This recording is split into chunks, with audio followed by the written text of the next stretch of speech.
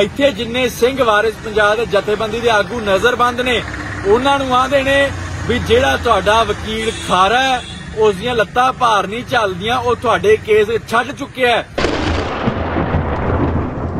ਉਹਨਾਂ ਦੇ ਅਗੇਂਸਟ ਜੋ ਇੱਕ ਅਸਲਾ ਜੋ ਸਰਕਾਰ ਨੇ ਇਕੱਠਾ ਕੀਤਾ, ਉਹ ਬਿਲਕੁਲ ਹੀ ਫੋਕਾ ਅਸਲਾ ਹੈ। ਕੱਖ ਨਹੀਂ ਸਰਕਾਰ ਨੇ ਹੋਮਵਰਕ ਕੀਤਾ। ਕੋਈ ਪੁਖਤਾ ਪ੍ਰੂਫ ਨਹੀਂ ਸਰਕਾਰ ਕੋਲ, ਕੁਝ ਨਹੀਂ। ਅੱਜ ਮੈਂ ਅਤੇ ਐਡਵੋਕੇਟ ਰਣਜੋਤ ਸਿੰਘ ਭੁੱਲਰ ਇੱਥੇ ਦਿਬਰੂਗੜ੍ਹ ਵਿਖੇ ਆਏ ਹਾਂ, ਜਿਹੜੇ ਵਾਰਿਸ ਪੰਜਾਬ ਦੇ ਜਥੇਬੰਦੀ ਦੇ ਆਗੂ ਨੇ, ਜਿਹੜੇ ਇੱਥੇ ਨੌ ਜਿਹੜੇ ਜਥੇਬੰਦੀ ਦੇ ਆਗੂ ਨੇ, ਜੋ ਇੱਥੇ ਨਜ਼ਰਬੰਦ ਨੇ ਐਨਐਸਸੀ ਅਧੀਨ ਸੈਂਟਰਲ ਜੇਲ੍ਹ ਦਿਬਰੂਗੜ੍ਹ ਵਿਖੇ, ਉਹਨਾਂ ਨਾਲ ਜੋ ਮੁਲਾਕਾਤ ਕਰਨ ਦਾ ਮੌਕਾ ਮਿਲ ਗਿਆ ਸੀ। ਕਰੀਬ 12 ਕੁ ਵਜੇ ਸਾਡੀ ਮੁਲਾਕਾਤ ਸ਼ੁਰੂ ਹੋਈ ਸੀ ਤੇ 5 ਕੁ ਵਜੇ ਤੱਕ ਸਾਡੀ ਜੋ ਮੁਲਾਕਾਤ ਹੈ, ਉਹ ਚੱਲੀ।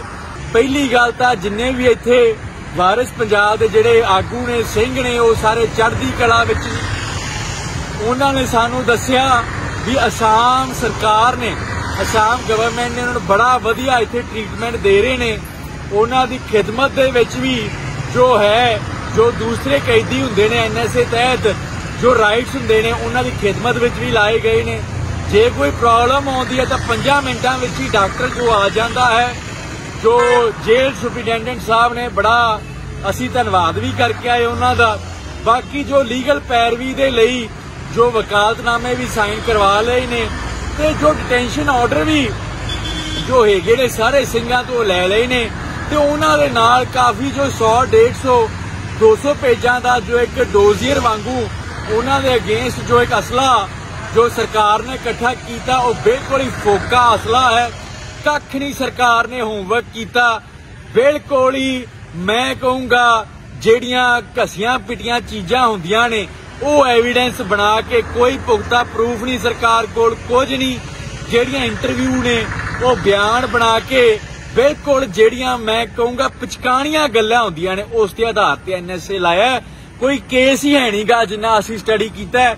ਕੋਈ ਐਨਐਸਏ ਨਹੀਂ ਬੰਦਾ ਵਾਰਿਸ ਪੰਜਾਬ ਦੇ ਜਥੇਬੰਦੀ ਦੇ ਸਿੰਘਾਂ ਦੇ ਅਗੇਂਸਟ ਤੇ ਬਾਕੀ ਇੱਥੇ ਆਣ ਕੇ ਮੈਨੂੰ ਇੱਕ ਬੜੀ ਜ਼ਿਆਦਾ ਸਨਸਨੀ ਖੇਸ ਜੋ ਗੱਲ ਪਤਾ ਲੱਗੀ ਵੀ ਜਿਹੜੀਆਂ ਏਜੰਸੀਆਂ ਨੇ, ਜਿਹੜੀ ਆਈਬੀਆਂ ਵਰ ਆਈਬੀ ਵਰਗੀ ਸੀਆਈਡੀ ਵਰਗੀਆਂ ਏਜੰਸੀਆਂ ਨੇ, ਉਹ ਬੜੀਆਂ ਕੋਝੀਆਂ ਚਾਲਾਂ ਚੱਲ ਰਹੀਆਂ ਨੇ।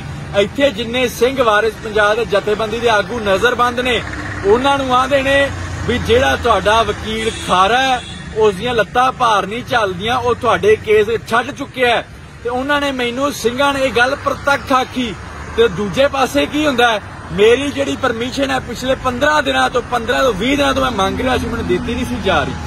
ਤੇ ਇੱਥੇ ਆਣ ਕੇ ਉਹਨਾਂ ਨੂੰ ਕਹਿੰਦੇ ਸੀ, ਤੁਹਾਡਾ ਜਿਹੜਾ ਬੰਦਾ ਹੈ, ਉਹ, ਉਹੀ ਤੁਹਾਡੇ ਕੇਸ ਛੱਡ ਚੁੱਕਿਆ ਤਾਂ ਬੜੀ ਜ਼ਿਆਦਾ ਇੱਕ ਜਿਹੜੀ, ਅਤੇ ਪਰ ਦੂਜੇ ਲੋਕਾਂ ਨੂੰ ਪਰਮਿਸ਼ਨਾਂ ਦਿੱਤੀਆਂ ਜਾ ਰਹੀਆਂ ਸੀ, ਤਾਂ ਬੜੀ ਜ਼ਿਆਦਾ ਇੱਕ ਜੋ ਵਾਦ-ਵਿਵਾਦ ਖੜੇ ਕਰਨ ਵਾਲੀ ਪ੍ਰੋਪੇਗੈਂਡਾ ਚਲਾਇਆ ਜਾ ਰਿਹਾ ਸੀ।